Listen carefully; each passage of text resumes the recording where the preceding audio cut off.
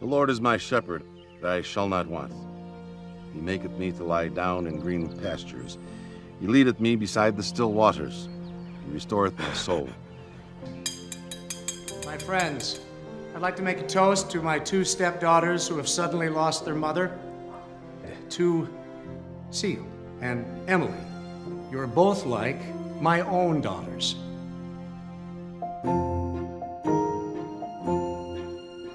Do I find out if someone has a record?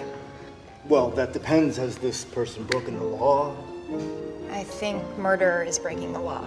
Do you know what Peter did before he was in the antique business? No, and I don't want to know. He was a pharmaceutical sales rep. Oh, wow, he wasn't a secret agent? Hey, why don't you take a couple bills? I'll treat you to lunch. No, thank you, sir. I can buy my own lunch. I went to the police today. You did what? Don't worry. I think they thought I was nuts. You are nuts. What did she look like? Pretty. Kind of thin, with light brown hair. I didn't do anything wrong, did I? No! oh! hey there!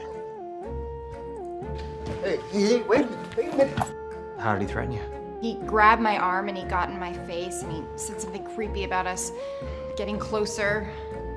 He was sniffing me or something. Hey, I'll have you know, Seal has a boyfriend and I think I might too, and he happens to be a cop, so. I don't know, maybe it's a female thing. Women, right? Gotta love them. Don't you think you two are overreacting just a little bit?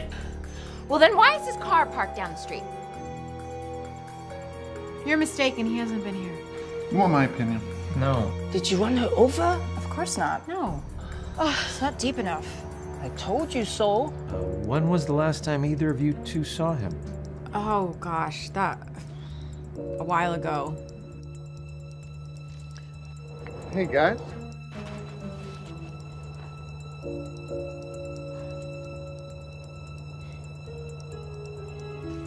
Oops.